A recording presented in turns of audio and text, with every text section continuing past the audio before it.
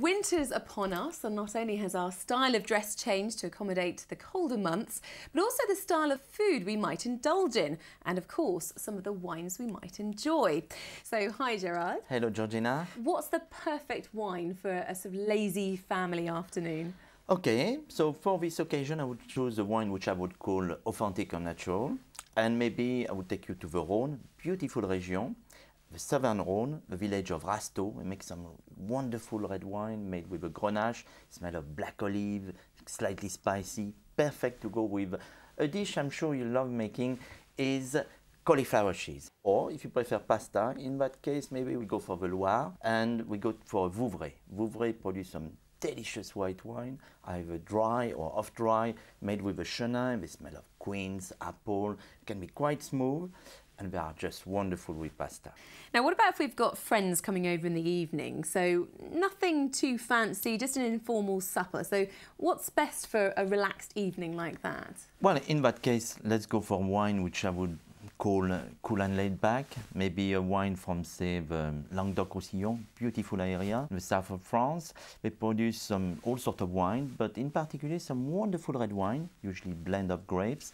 So something like maybe a Corbière and Corbière is middleweight, not too heavy, but uh, ideal for perhaps a, a, beef stew, if you like mm, that type yes, of dish. Yeah. Or if you have uh, friends who are vegetarian, you might, you might have prepared a tagine. And in that case, I'll probably go for the new category of French wine, Vin de France. And I would choose a varietal like a Merlot. Everybody likes Merlot. It's soft, quite smooth, not too heavy. Beautiful with uh, the tagine. So what about when we're not so much relaxing, but more getting the glad rags on, maybe having a party or going to a party?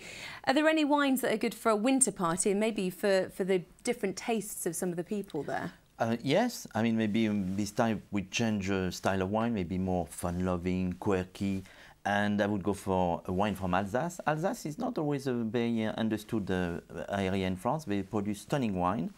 You could choose a Riesling. Riesling is really a, a, wonderful white grape. So the wine there, you would have a wine with quite citrusy, lemony, a bit floral. I mean, just beautiful. And with that, I would say maybe something like, well, if you like curry, for instance, that would be perfect. The white wine's got enough character in the Riesling to match the curry. So a great um, combination. Or if you wanted to have maybe a more informal type of food like canapé, we could go for a wine, a sparkling wine. I would go for a crémant. Mm -hmm. France produces some stunning crémant, crémant de Loire, d'Alsace, Bourgogne, Die, and so on. And let's say these wines are very elegant, quite creamy, lovely bubble. They are made with a lot of care. They are unpicked grape, just beautiful. And finally, of course, we come to Christmas Day. So what should we be serving? Can we start with champagne and, and what wine would sort of perfectly complement Christmas Day dinner? Christmas Day, we need to go for something really glamorous and chic. And you said it, champagne, the king of sparkling wine, and something magic, perfect with, say, salmon and blinis. Mm. And then I think we, we are going to have a roast for Christmas, aren't we? Oh yes. so in that case, maybe maybe a goose, uh, some turkey if you want to be very traditional. And in that case, I would go for something maybe from Burgundy, uh, something like uh, Puligny Montrachet, for instance, something uh, very nutty, creamy. Or if you wanted to have some beef, some people like roast beef on uh, Christmas Day. In that case, I would go for Bordeaux, maybe a Pomerol. Pomerol is a very elegant red wine, um, beautiful velvety, very perfume, smell of truffle with a bit of bottle age. So a great red wine to go with our beef and for this uh, amazing day. Well, my thanks to Gerard Basset, and there you have it. I think we've learned that there's the perfect style of French wine for every winter occasion. Thanks for watching, and goodbye.